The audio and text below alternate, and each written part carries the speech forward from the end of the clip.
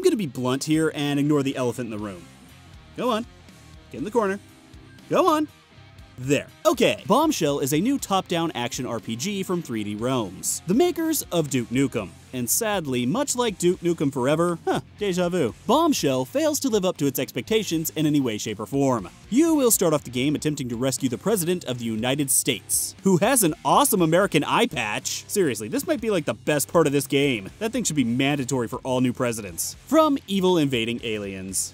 That is a pretty standard plot. From here, you'll go on a rampage through the White House, and then onto alien planets using an arsenal of weapons to mow down generic aliens. Aliens that have acid blood. You're not even trying, are you? Sounds like I could be describing any number of action RPGs, right?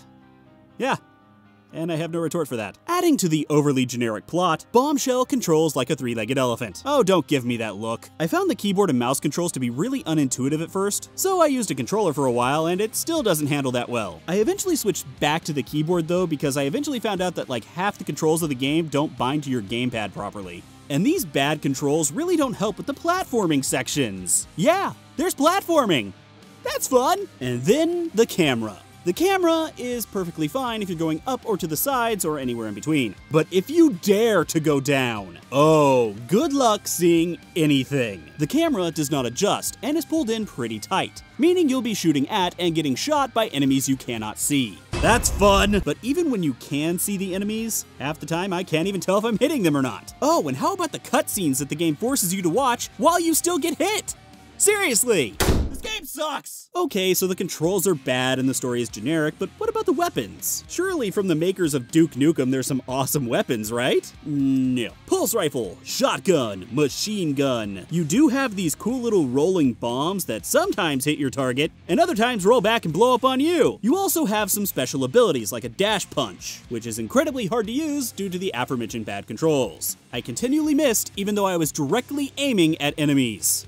Uh, A cool part of combat is the occasional finisher you get to do, but they're rare and add nothing to the gameplay, so I'm not even sure why I mentioned it. Now here's something a bit weird. New weapons are given to you at set points throughout the game, but that's not the weird part. The weird part is that you'll be picking up ammo to guns you don't have yet all the time. I wish I was getting ammo for the guns I actually have. So let's add this up. Bad controls, generic story, bland weapons. What's next? How about really inconsistent enemy AI? Sure, why not? Sometimes monsters are incredibly hard and clever. Other times they just stand there and let you blast them to death. Like this boss that the game made a huge deal about. But nope, he just walks at me menacingly then dies. Eh, let's just move on. Character progression. With money, you can upgrade all of your guns, giving them added damage or alternate effects, or you can simply buy ammo from shops. Each weapon also seems to have a branching path, which means you're to have to choose which upgrade path to follow. This is actually kind of nice. Now, whenever you level up, you gain ability points, which you can use to upgrade your stats like your armor, health, or effectiveness of your special abilities. There you go.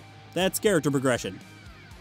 Nothing really to it. When I compare Bombshell to a game like Helldivers, which I love by the way, Bombshell feels laughably inept and overall half-baked. It's like the developers had a good idea but couldn't execute it, so they just put out a super basic game because they needed to recoup their costs. Now, I purposefully haven't talked about the elephant down there because I want you all to understand that this game is bad based on its own merits as a game. And you know what? That's where I'm gonna leave it. Don't play it. Play something else.